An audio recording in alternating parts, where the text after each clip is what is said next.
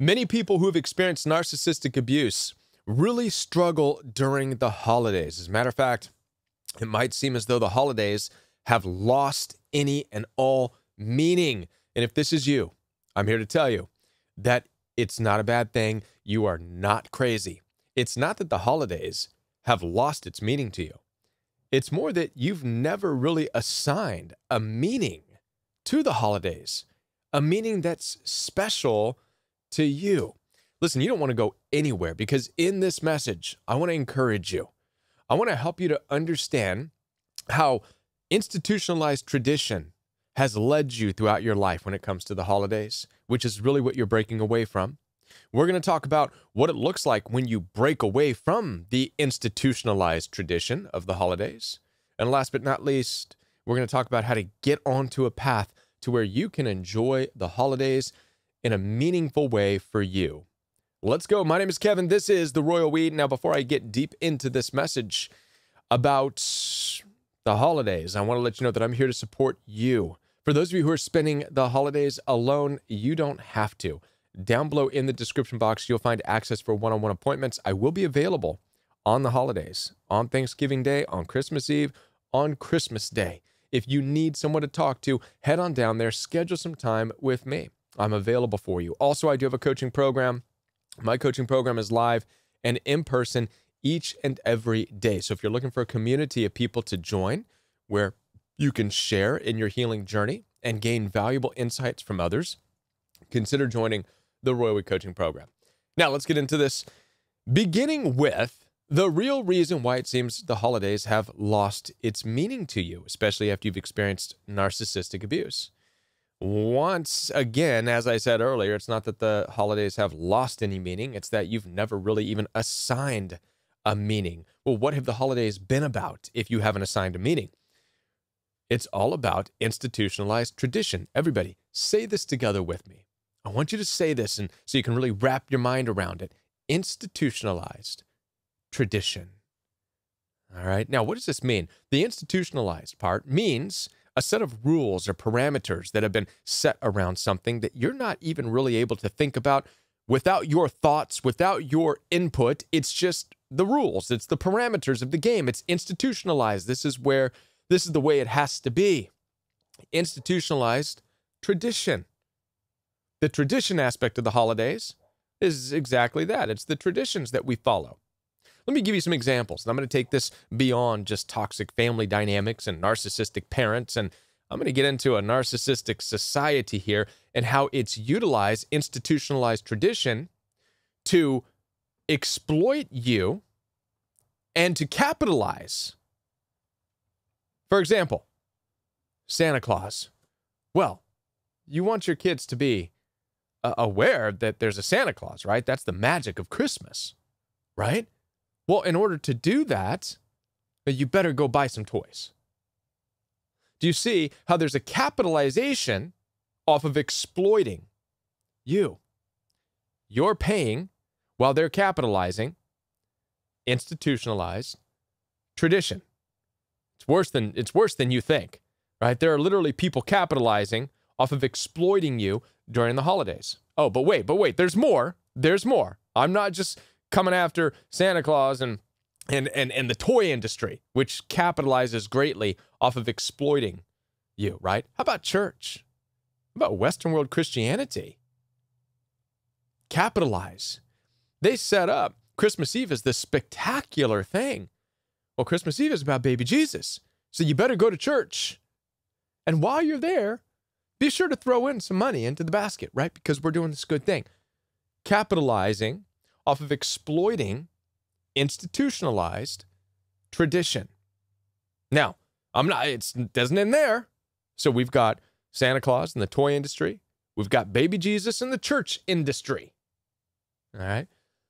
But your family, your family capitalizes. Oh, every Christmas Eve you got to come over for for Aunt JoJo's taco salad and and mashed taters.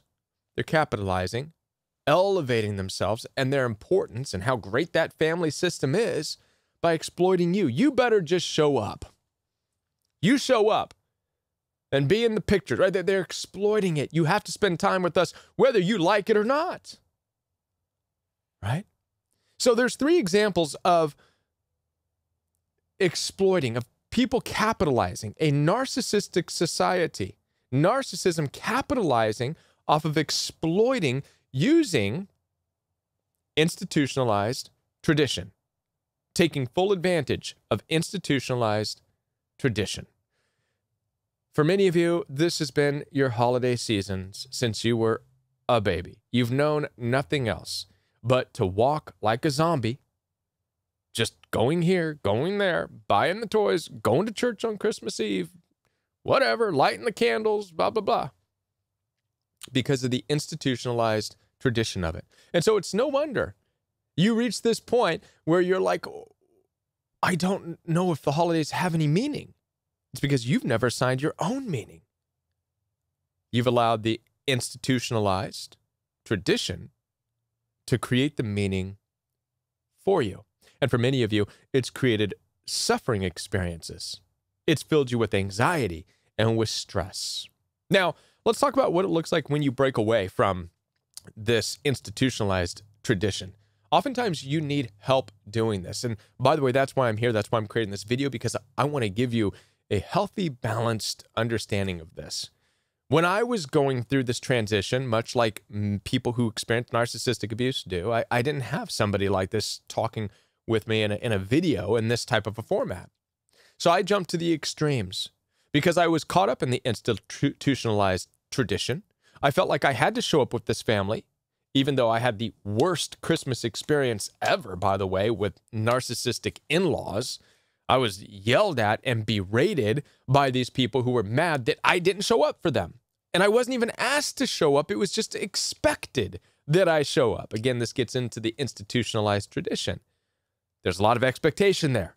Well, you better buy toys for your kids. You better honor baby Jesus and go to church, or you better show up for Aunt uh, Aunt, Aunt JoJo's taco salad. How dare you say no? That's the expectation part of it, right? So in my own personal story, I needed an extra reason not to. As I was processing the narcissistic abuse, this is true story. I knew I didn't want to be a part of the holiday stuff, the shenanigans with the narcissistic people. I didn't want to show up for that family anymore. I was done. It was a miserable experience. There was no joy in it. And if the holidays are about joy, why was I wasting my time with those people? It was miserable. They didn't care about me. They didn't want me there. They expected me there because it was about them. Right? It was about them. It was about the, what I said earlier, which is exploiting people to capitalize. They were about their capitalization. Most narcissistic family dynamics are about capitalizing off of the holidays by exploiting you through institutionalized tradition. So, what I did in my own personal experience is I happened to, I believe it was divine, because again, I didn't have someone like me to talk to.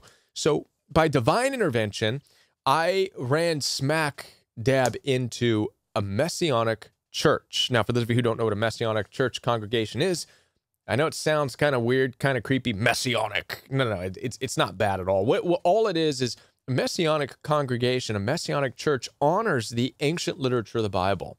They take in the Old Testament. They're very much into the Hebraic roots of our faith, in addition to the Christian aspect, which is something that I was never introduced into, but it came at the right time for me because when I got involved with the Messianic congregation, suddenly they were able to put up this understanding of how Christmas and Easter and Thanksgiving, it's not biblical. There's nothing in the ancient understanding or the ancient biblical perspective that honored Christmas or Thanksgiving. And suddenly I found this place where I'm like, ah, I don't have to be a part of it. Oh my gosh. There's this whole ancient text of the Bible, people close to God, they knew nothing about Christmas. Thanksgiving didn't exist. It means nothing as far as who I am as a person or my connection with God. So I needed that.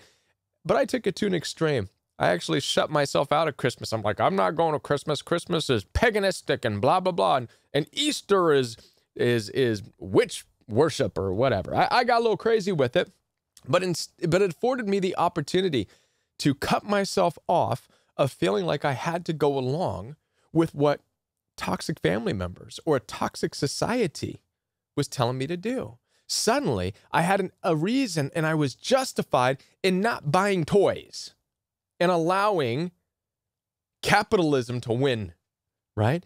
I, suddenly, I was justified in not showing up to a toxic family dynamic that wanted to make me eat their taco salad. Suddenly, I was justified in not wanting to go to another candlelit Christmas Eve service. And I didn't have to feel like a Scrooge. I didn't have to feel like I was a mean person. I was honoring my new understanding of an ancient biblical perspective where these things didn't even exist. And I needed that. And so I shut holidays out for a while. Now, you don't need to go that far and shut them out. That's why I'm here talking to you, so you don't have to do what I did, right? But nonetheless, it was an important stage for me. And now, for many of you, it's an important stage for you to be able to separate yourself from the institutionalized tradition of the holidays. Now, many of you might rebel against what I'm talking about. You might even be at war within yourself because you don't want narcissistic family members to ruin Christmas for you. But I challenge you make sure you're not still trying to fight for something you don't want, which is institutionalized tradition. Now, I found myself there as well. Prior to meeting the Messianic congregation, helped me helping me change my view, open my mind a little bit, justifying what I always believed to be true. Prior to that, I used to force myself to go and be a part of these family systems and uh, I partook in the institutionalized tradition because I believed it was mine when it wasn't. And I used to say, oh, I'm not going to let a narcissist deter me. I'm going to go and I'm going to enjoy myself and I'm going to show those people love because that's blah, blah, blah, blah. Like a big old sappy crybaby. It wasn't really me or what I wanted. I was at war within myself. I believe that the reason I wasn't enjoying the holidays was because I was allowing narcissistic people to, to get to me. And so I forced myself to continue, never really creating holidays for me. Listen, with everything I've said, you should be able to now understand and accept and see why the holidays are such a stressful time for many people. Now, how do you break it and how do you move on with it? Well, now that you've allowed this idea to soak in, what I've been talking about, the institutionalized tradition, that's all that needs to be broken. That's it. It's just the institutionalized tradition of it. The way to break it is to accept it. Accept that institutionalized tradition seeks to capitalize off of exploiting you. And that's all you have to break away from. And once you understand this, you can start to enjoy the holidays doing what you want to do. If this Christmas you want to fly to Hawaii, not buy any toys, not see an image of Santa Claus, not go to a candlelit Christmas Christian service, but instead you want to dip your toes into the sand, sip a Mai Tai in front of the ocean. Why? Because you're on holiday. Now, you're going to find this interesting. Holiday, right? The word holiday, in some places, some countries, is not associated with the Christmas that we call it, right? I think in, in the UK, I love it when they say, I'm going on a holiday. It simply means they're taking a break. They're taking vacation. In fact, there's a hotel called the Holiday Inn, right? It doesn't mean the Christmas Inn or the Thanksgiving Inn, it's the Vacation Inn. So, another way for you to look at holidays, are you ready? Is this you've been working hard. You've worked hard all year. It's time to take a break, which means you don't have to associate with toxic family. That's not taking a break. You don't have to go and buy toys, but that's not taking a break. You don't have to go to a candlelit Jesus service. That's not taking a break. Take a break. Have a vacation. Use the holidays as an opportunity for you to surround yourself with the people who are most important to you, to you year round, by the way. Makes no sense to spend Christmas, Thanksgiving, holidays with people you don't see except for this one time a year out of expectation, out of institutionalized tradition. Why would you spend it with people like that? Why would you fly after five years of no contact with family members or two years? Why would you go and waste time with people so they can sit and look at you and judge who you are and what you're doing with your life? That that what is a holiday about that? Go break yourself and spend all your money buying toys for this and that. You don't have to do that. Make it a holiday, make it a vacation. If you want to go and travel around and look at the lights, because there's a lot of beautiful lights on display throughout the cities, I've grown to love that. Right? I've loved the lights. I love traveling. I love to sip me some eggnog. Make the holidays your own. So, to wrap this up, as I said, it's not that the holidays have lost its meaning, it's that you have not yet assigned a meaning that means something to you and to your family and to the people that you love and want to spend time with. So, I challenge you to do that. As I said before, I am here to support you. So, for those of you who are even taking a break, spending time alone, you don't have to be completely alone. I am here to support you. If you want to talk deeper about these concepts, head on down there, schedule some time with me. I'd love to talk it out with you. Also, the Roe Coaching Program is available for you. So head on down there, get registered right now. I'll be back with more videos for you. And before I do go, I invite you to watch one of these videos right here. Also, I'm going to be posting a video this week on how narcissistic family dynamics exploit you during the holidays, how they capitalize off of the holidays at your expense. You don't want to miss that video either. All right. Till I'm back, watch one of these videos. If you found this helpful, be sure to like and subscribe, and I'll be back with more videos for you right here on The Royal We.